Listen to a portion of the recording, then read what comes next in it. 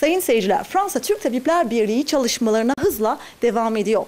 Ana hedefleri Fransa'da yaşayan Türkleri sağlık konusunda bilgilendirmek olan hekimlerimizin halkımıza yönelik düzenledikleri sağlık atölyelerinden birkaçını sizler için izleyeceğiz. Şimdi takip edeceğimiz konular temel ilk yardım uygulamaları, organ bağışı ve göz hastalıkları.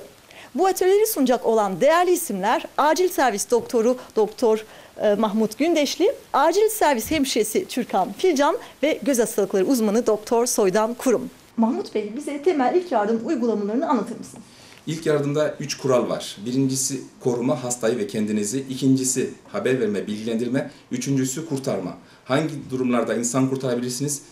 Bir örnek veriyoruz ve onun arkasında da manevrayı yapıyoruz. Heimlich manevrasıyla nefes darlığı o e, geldiği zaman bazı yabancı cisimlerden insanı kurtarabilmek için. Ve onun için arkadaşımla size manevrayı gösteriyoruz. Bu manevrayı yaparken en önemlisi burada elinizi sıkıyorsunuz, yumruk yapıyorsunuz, mideye karşı getiriyorsunuz, öbür elinizle aniden çekiyorsunuz yukarıya doğru. Çıkarsa tamam, yoksa bir daha yapıyorsunuz. Ta ki yabancı madde çıkana kadar. Eğer çıkarsa insanı kurtardınız. Bir insanı kurtarma dedik ya, kurtarabilmek için şuurunun yerde olduğunu bilmemiz lazım. Nefesinin aldığını veya almadığını öğrenmemiz lazım. Nefes almıyorsa, şuuru yerinde değilse ilk yapacağımız iş haber verdikten sonra masaj yapmak. Masajı size gösteriyorum. Kollarımızı böyle dik tutuyoruz. Hastanın üzerine tam orta, göğsün ortasına ve kendi ağırlığımızı böyle indirerek ve bayağı sert basarak hızını 100-120 kere dakikada olması lazım. Bu şekil yardımlar gelene kadar devam etmemiz lazım. Arada sırada nefes aldığını kontrol edebiliriz. İnsanı kurtarabilmek için e, bir konu daha var. O da çok önemli. Otomatik kalp şoklama cihazı. Onu nasıl kullandığını göreceğiz. Okuma yazma şart değil. Herkes bunu kullanabilir. Çok basit bir alettir. Sadece uygulamaya dikkat edeceğiz. Resimler var. Şöyle bakarsanız alet çok basittir. Bir kapalı kapatıp açma düğmesi, bir şoklama düğmesi. Gördüğünüz gibi şu paletlerin üzerinde resimlerdeki e, nereye, nereye konduğunu ona göre bakıyoruz ve yerleştiriyoruz. Örneğin bu şekilde bu tam şu göğsün alt kısmına bu da bu tarafa konulduğu zaman alete basıyorsunuz. Kendisi ondan sonra size ne yapacağınızı söylüyor. Değerli izleyiciler şimdi de bebek üzerinde ilk yardım uygulamalarını seyrediyoruz. Evet, bebeklerde ilk yardım e, uygulamalarını göstereceğim. En çok karşılaştığımız e, çocuk yani küçük çocuklarda ya oyun ya küçük bir oyuncak parçası ya da leblebi, fındık, fıstık e, aniden çocuğun nefes borularına tıkandığı zaman ilk yapacağınız hareket e, sakince bebeğinizi alıp bir sandalyeye oturun ve önce ağzını açıp ağzının içinde bir şey görüyor, gör, görüyorsunuz mu ona bakın. Ondan sonra öbür kolunuza çevirip beş kere böyle sırtına e, vuruyoruz. Eğer bir şey çıkmazsa tekrar öbür tarafa çevirip iki parmağınızla bu göğsünün ortasına çöküyoruz. O e, maddeyi çıkartmak için. Eğer bebeğiniz e, bu jestlere tepki göstermezse yapacağınız ilk şey önce e, acile doktorlara haber vermek ondan sonra kalp masajına başlamaktır. Kalp masajını yapmak için bunun için bebeğinizi bir masa masa üzerine koyup böyle iki parmağınızla göz ortasına çöküyoruz. Aynı ritimde 100 ya da 120 dakikada.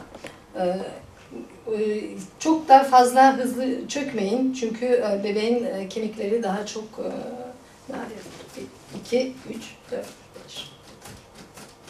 Yalnız olduğumuz zamanda kalp masajını 30 kere yapıp ondan sonra iki, iki defa nefes veriyoruz. Bunun için ağzınızla bebeğin hem ağzını hem burnunuz, burnunu ağzınıza alıp sadece ağzınızdaki havayı üflüyorsunuz. Fazla derin hava alıp üflemeye gerek yok.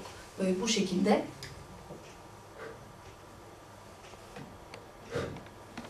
Ondan sonra tekrar mesaja devam ediyoruz. Türkan Hanım bizi organ bağışını anlatır mısınız? Evet, organ bağışı e, konusunda önce sizlere bir birkaç bilgi vermek istiyorum. Yani çok önemli şunu bilmek lazım ki Fransa'da şu an bugün 19 bin kişi organ bekliyor. Yani 19 bin kişi demek oluyor ki bu hastalara ya organ bulunacak ya da bu hastalar ölecek. Oysa bu konuyla hepimiz ilgiliyiz.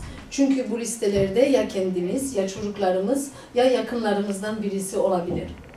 Organ bağışı bir insanın organlarının bir kısmını veya tamamını henüz sağlıken yani beyin ölümünün ardından başka ihtiyacı olan hastaya naklidir. Yaşarken ve öldükten sonra bağış edilen organlar vardır. Yaşarken e, böbrek ve karaciğer bağışlanabilir. Öldükten sonra Fransa'da yani organlarının %90'ı aniden ölen e, vericilerden gelmekte. Bu da ya kalp krizi, ya önemli beyin kanaması ya da beyin travmasında. Soydan Bey şimdi de göz hastalıklarını sizden dinleyelim. Şimdi öncelikle e, göz muayenelerinin her iki senede bir yapılması gerekiyor. Çocuklarda daha sık yapılması gerekir. E, Bu göz muayenesi esnasında göz yetersizliğinin var mı yok mu diye refraksiyon dediğimiz bir olay yapılıyor. Göz yetersizliği olursa yani refraksiyon sonrası gözün görme yeteneği onun üstünde onu görmesi bu gözde bir sorunun olduğunu gösterir. Bu sorunlar katarakt olabilir, glokom hastalıkları olabilir veya retinadaki yaşa bağlı görme yetersizliği olabilir mesela. Ee, muayenede retinada yani gözün ark, arka tabakasında, tabakasındaki bir sorun olduğunu düşünürse göz uzmanı o zaman göz merceğini açarak bir muayene yapması gerekir. Şeker hastalıklarının kontrolü şu, bu şekilde de yapılır tabii ki. Kontrol her sene veya her 6 ayda yapılması gerekiyor. Muayene esnasında tabii ki göz tansiyonu da alınır. Bu e, glukoma hastalıkları e, olduğunu gösterir. Göz tansiyonu 21'i geçerse eğer.